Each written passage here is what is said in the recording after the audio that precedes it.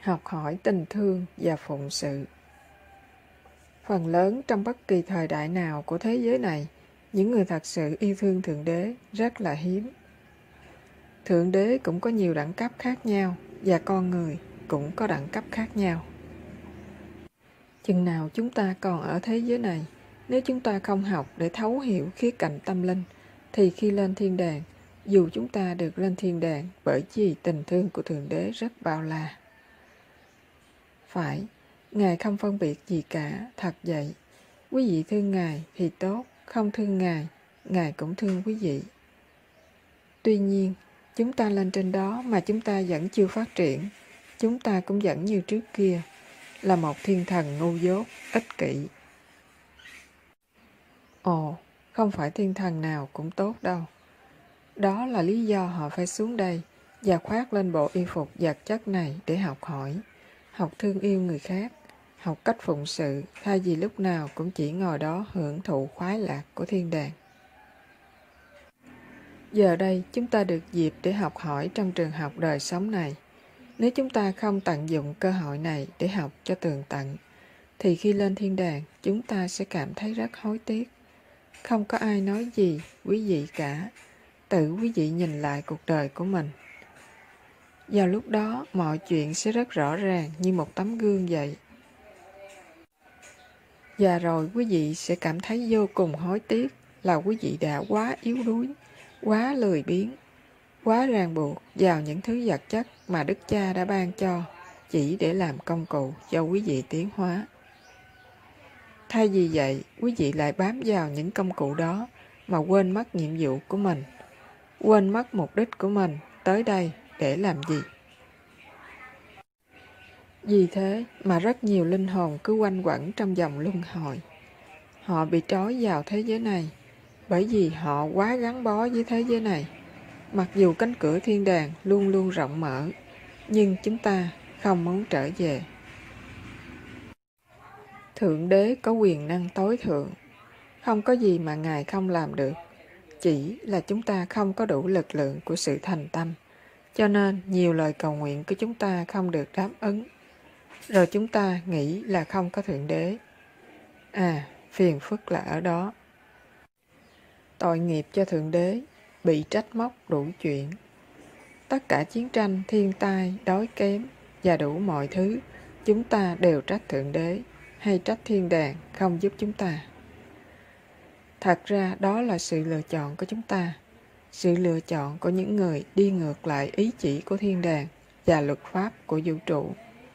Những người này sẽ tạo ra chiến tranh và nghe theo lực lượng phủ định trong thiên nhiên mà chúng ta gọi là sa tăng hay ác quỷ. Bởi vì chúng luôn luôn ở đó. Đó là cách thế giới này, thế giới phủ định giữ quân bình. Trên thiên đàng thì không cần sự hiện hữu của lực lượng phủ định. Master Thanh Hải Vô Thượng Sư thuyết giảng tại Honolulu vào tháng 9 năm 1995, nguyên văn tiếng Anh. Bản tin số 49 Nhân loại thật đáng thương.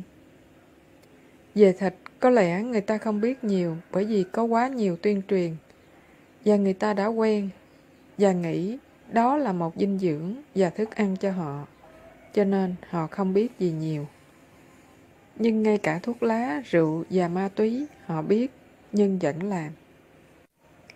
Bởi vì ý chí con người yếu đuối và áp lực phủ định hơn của thế giới này khiến họ điên như vậy. Nên họ chỉ làm điều họ làm bất cứ gì để có được chút thoải mái dù chỉ tạm thời. Đó là lý do chúng ta cảm thấy tội nghiệp cho họ, cho nhân loại. Tôi đang cố gắng tối đa để thức tỉnh họ bằng bất cứ cách nào có thể được. Tôi làm đủ thứ việc chỉ vì tôi biết rằng họ chỉ là nạn nhân. Toàn nhân loại đều là nạn nhân của ảo tưởng ma dương, của ảnh hưởng quỷ quái trong địa cầu vật chất thô thiển này. Chúng lợi dụng sự dễ tổn thương của linh hồn và sự ngây thơ của linh hồn nguyên thủy chân thật của con người. Chúng bỏ tất cả những bùa mê kinh khủng nặng nề, đen tối kết tội này lên họ và điều đó gây đau khổ cho họ. Họ chỉ nghĩ về những gì có thể cho họ một chút khuây khỏa hoặc có vẻ như giải khuây, rồi họ nắm lấy nó. Nhưng họ không biết rằng sự giải khuây tạm thời từ ma túy, rượu, thuốc lá sẽ mang đến cho họ dạng phần đau khổ về lâu, về dài. Cho dù họ biết, nhưng vì quá tuyệt vọng nên họ vẫn làm. Giống như là cứu cánh lúc tuyệt vọng. Vì vậy, họ rất đáng thương. Loài người vô cùng đáng thương. Nhân loại đã bị đầu độc nặng nề. Giờ thì quý vị thấy các vị minh sư đó hoặc những người tốt bị đối xử quá tàn nhẫn như thế nào. Quý vị biết nhân loại thật sự đã bị đầu độc nặng nề, đúng không? Ngày nay có tốt hơn một chút. Trước đây, những linh hồn này đi khắp nơi thì thầm những điều xấu vào tay người ta, hoặc họ dùng lực lượng tà ác để ảnh hưởng con người, khiến người ta vi phạm rất nhiều tội ác. Họ ảnh hưởng những người khác nhau. Nhiều khi một người khá hiền lành, nhưng tinh thần không mạnh lắm, bị ảnh hưởng. Rồi người đó đi giết người hoặc làm chuyện xấu, sau khi trở lại bình thường, người đó không hề biết tại sao mình lại làm những điều đó. Nhiều khi người đó cũng không nhớ mình đã từng làm những gì, rồi người đó phải đi tù hoặc lãnh án tử hình. Thật đáng thương. Những linh hồn hoặc chúng sinh đó là công cụ của tà lực và họ muốn gây hỗn loạn trên thế giới. Họ náo loạn nơi này, nơi kia. Vì vậy, đừng trách một số quốc gia là họ bạo lực hoặc hiếu chiến. Họ chỉ bị các linh hồn xấu ác ảnh hưởng mà thôi. Ít nhiều là như thế. Nhưng bây giờ an ổn rồi. Bây giờ mấy chuyện đó yên ổn hay khá hơn chút. Chúng ta hy vọng thế. Phải, tình hình sẽ tốt hơn. Nên, đừng có những suy nghĩ dớ dẫn nhé. Quý vị phải tu hành cho giỏi để có thể giúp mình và giúp thế giới, hiểu không? Tận dụng lợi điểm bẩm sinh của chúng ta. Thỉnh thoảng quý vị đọc báo hay coi trên TV thấy ma quỷ thỉnh thoảng hiện lên quấy phá bởi vì chúng nhìn thấy điều gì đó, biết những điều mà chúng ta không biết, không thấy. Nếu chúng không có thân thể thì chúng có trí thông minh hơn, có nhiều tự do hơn khi chúng không có thân thể. Khi chúng ta có thân thể thì cũng có lợi điểm. Thân thể đó là để bảo vệ chúng ta chống lại nhiều ảnh hưởng phủ định và tránh biết điều không tốt. Nếu không có thân thể này, chúng ta sẽ biết quá nhiều, quá nhiều qua đầu óc. Như chúng ta sẽ biết người nào sẽ hại chúng ta, người đó nghĩ xấu về chúng ta ra sao và sẽ làm hại chúng ta như thế nào. Cả ngày chúng ta sẽ biết quá nhiều rồi đầu óc của chúng ta sẽ bị tấn công bởi đủ loại phủ định từ thị giác, cảm giác và tri giác về thế giới. Mặc dù linh hồn chúng ta biết, nhưng nếu đầu óc không biết thì chúng ta không bị đau khổ nhiều, quý vị hiểu không? Cho nên chúng ta có thân thể này để bảo vệ chúng ta khỏi bầu không khí phủ định của thế giới. Tuy nhiên, khi có thân thể này, chúng ta cũng có một vài bất lợi là không biết nhiều điều mà các thiên thần biết và những người không có thân thể biết. Cho nên chúng ta có cả điều lợi lẫn bất lợi. Nhưng chúng ta cũng có thể có cả hai. Chúng ta có thể dùng thân thể vật chất này để ngăn chặn những ảnh hưởng phủ định. Đồng thời chúng ta cũng học cách rời khỏi thân thể khi mình muốn qua một tiến trình, qua kỹ thuật thiền định. Chúng ta có thể ra khỏi ngục tù thân thể này và sau đó học hỏi một vài điều khác của phẩm chất siêu nhiên. Thí dụ như lên thiên đàng, đi tới những chiều không gian khác để học hỏi sự minh triết cao đẳng hơn. Và rồi khi trở lại, chúng ta có thể ứng dụng cho chính mình và cho gia đình, tổ quốc cũng như thế giới của chúng ta, hiểu không? Cho nên những người không có thân thể thì bất lợi hơn chúng ta. Nhưng chỉ khi chúng ta có thể sử dụng cả hai phạm vi vật chất và siêu vật chất thì chúng ta có được cả hai lợi điểm. Chúng ta trên cả thiên thần và hơn cả những sinh linh không có thân thể. Chúng ta có nhiều lợi điểm hơn, cho nên hãy cố gắng chăm sóc đời sống của mình. Hãy tận dụng ưu điểm lớn lao của thân thể. Cho dù đôi khi nó là một công cụ gây nhiều trở ngại, nhưng nó rất tốt, rất tốt. Thật ra, khi quý vị tu hành nhiều, đôi khi quý vị không cảm thấy có thân thể này. Không phải vậy sao? Quý vị cảm thấy rất nhẹ nhàng, đúng không? Cũng như quý vị đang lái xe nhưng không phải quý vị lái, mà một người khác. Không cần phải cố gắng.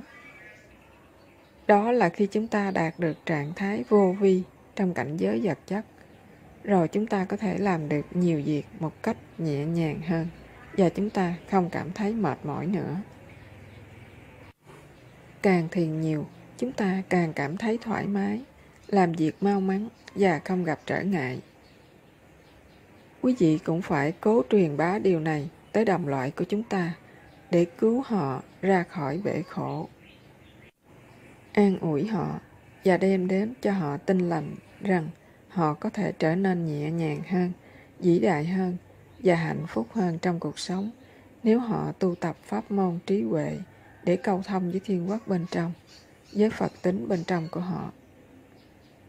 Sau đó, họ không cảm thấy thống khổ và mòn mỏi, hay cảm thấy bị gò bó và bơ vơ trên thế giới này. Đó là liệu pháp duy nhất cho loài người. Nếu không, mọi người sẽ nói với quý vị rằng thế giới sắp tận. Nhưng rồi sao? Cho dù tận thế xảy ra, chúng ta có sự bảo đảm và chúng ta biết sẽ đi đâu, nên chúng ta không sợ. Chúng ta sẽ có nhiều thế giới khác để sống. Hình như có nhiều thiên tai đang đến với thế giới này, phải không? Nhưng sư phụ không cảm thấy là thế giới sẽ tận diệt mau như vậy. Có lẽ thế giới sẽ tận ở một vài chỗ. Có lẽ sẽ có những sự tàn phá vĩ đại đối với những người khác nhau. Nhưng những người đạo đức, những người vô tội sẽ được bảo toàn cho thế hệ mai sau. Và với sự trợ giúp năng lực khẳng định từ quý vị trong lúc thiền, lúc cộng tu, lúc quý vị âm thầm cầu nguyện, thế giới của chúng ta sẽ được bảo toàn với một mức độ cao hơn là chúng ta mong ước. Đó là vì sao sư phụ mong rằng quý vị phổ biến những tin lành cho mọi người. Hãy thêm nước vào hồ để nhiều người có thể bơi trong đó. Master Thanh Hải Vô Thượng Sư thuyết giảng tại Singapore vào ngày 29 tháng 9 năm 1994. Bản tin số 46 Thân thể chúng ta vốn là một kỳ quan. Chúng ta nghe nói Bành Tổ sống 800 năm. Đây không phải chuyện đùa. Tại sao chúng ta không sống lâu như vậy được? Thân thể chúng ta giống y như thân thể mình có lúc 20 tuổi. Một số người có ít bệnh, cho nên thân thể họ vẫn giữ y vậy. Họ không thay đổi nhiều. Một số trông rất trẻ và họ có thể sống rất lâu. Nguyên thủy, thân thể có tuổi thọ rất lâu, 800 năm không hề gì. Nó có thể thọ 8.000 năm, thậm chí 80.000 năm, không có gì trọng đại. Thân thể chúng ta, nguyên thủy, là một kỳ quan. Nó có thể tự động làm trẻ lại. Phải, thân thể chúng ta có thể tự đổi mới. Nó thanh lọc khí độc, loại bỏ những tế bào già và thay thế chúng bằng tế bào mới. Nó làm rất nhiều việc bên trong mỗi ngày. Nó tạo ra rất nhiều tế bào mới mỗi ngày vào khoảng mỗi 4 tuần. Nó tự đổi mới. Nó đổi máu, da và tế bào mới. Cho nên, mỗi 3 hoặc 4 tuần, chúng ta nên làm trẻ lại, rồi chúng ta có thể sống mãi. Phật Thích Ca Mâu Ni nói rằng có được thân người là một cơ hội rất hiếm. Tại sao Ngài ca tụng nhục thể này nhiều như vậy, trong khi ai cũng nói rằng phàm thân này là vô thường và không có gì đặc biệt? Đó là bởi vì chỉ khi có thân thể này, chúng ta mới tu hành được.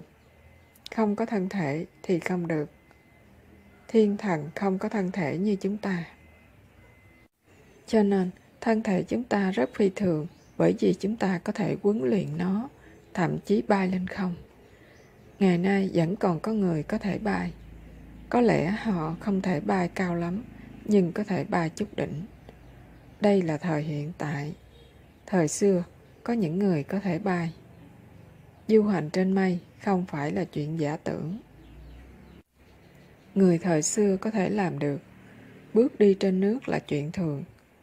Một số tu sĩ trên Hy Mã Lạp Sơn bây giờ cũng có thể làm. Tôi tặng mắt nhìn thấy.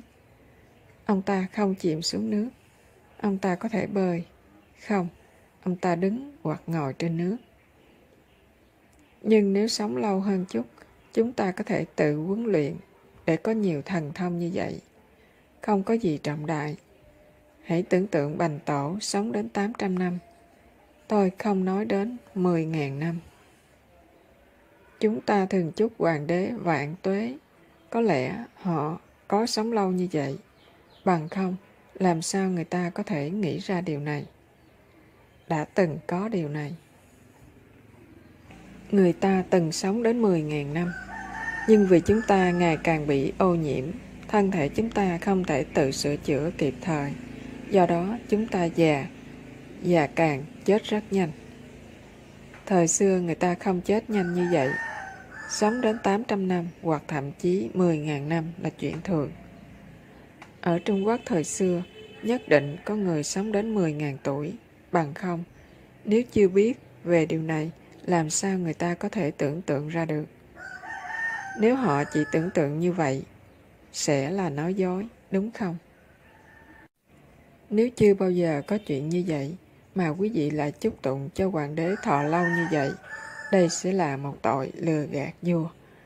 Không thể nào họ cho vị hoàng đế một sự hy vọng hoặc ấn tượng cao như vậy. Cho nên, nhất định có những chuyện như vậy xảy ra trong quá khứ. Chỉ là họ không có ghi lại. Chỉ có chuyện về Bành Tổ là được ghi lại và tiết lộ. Vào thời xưa, nhiều sách đã bị đốt. Tần Thủy Hoàng nhất định đã ganh tị. Ông đọc thấy những người đó sống đến 10.000 năm, nhưng ông không tin. Thời đó chắc ông rất mệt mỏi vì đánh trận và cảm thấy đau đớn khắp cùng thân khi ông vào tuổi, ngũ tuần, lục tuần. Cho nên ông nghĩ không thể nào có người có thể sống đến 800 hoặc thậm chí 10.000 tuổi. Bởi vậy ông ta tức giận, rất giận dữ. Cho nên ông ta đốt cháy tất cả sách đó. Vì vậy bây giờ chúng ta không còn có thể đọc nhiều điều được ghi trong lịch sử dẫn Thưa, người quả tinh sống được bao lâu? Sư phụ Người quả tinh 200 năm Một số có thể sống lâu hơn và một số ngắn hơn. 200 năm không là gì. Một số còn có thể sống lâu hơn. Hãy chờ và xem. Điều chính là có không khí tốt và tinh thần tốt. Không có quá nhiều tư tưởng phức tạp hoặc quá nhiều tranh chấp. Và với một xã hội an toàn, thậm chí người thường cũng có thể sống lâu hơn. Họ có thể sống ít nhất 20 đến 30 năm lâu hơn. Nhưng thế giới chúng ta quá hỗn loạn, mệt mỏi và tranh chấp. Mỗi ngày, người ta phải làm việc 8 đến 10 tiếng, nhưng họ kiếm được bao nhiêu tiền? Không bao nhiêu. Và rồi họ phải đóng thuế, bảo hiểm và thuế này, thuế nọ. Thậm chí thăm bạn bè cũng tốn tiền. Cho dù đã trả tiền, quý vị vẫn có thể không có vé máy bay. Ở một số nơi là như vậy. Quý vị trả tiền chỗ này, chỗ kia, và rồi quý vị không đi được. Ngay cả không được hoàn tiền. Làm sao có chuyện như vậy được? Như vậy công bình không? Nếu quý vị mua một món gì đó ở tiệm, nếu quý vị đặt mua gì đó, nhưng họ không thể gửi cho quý vị món hàng, thì họ phải hoàn tiền lại, phải không? Ít nhất là hoàn lại 80%, 70%, hoặc thậm chí 50% cũng tốt. Nhưng họ không hoàn tiền lại cho người ta, mà còn giữ món hàng lại. Sao người ta có thể làm vậy? làm sao có thể gọi đây là dân chủ hoặc tự do được. Thế giới này thật khôi hài, thật sự khôi hài. Càng nghĩ về điều này, chúng ta càng muốn cười lớn, bởi vì chúng ta không còn khóc nổi nữa. Khóc không giúp được, thôi thì cười vậy. Chúng ta không còn nước mắt để khóc. Chúng ta quá mệt để khóc. Nghĩ đến những nỗi khổ của quý vị, đôi khi tôi cảm thấy thật buồn.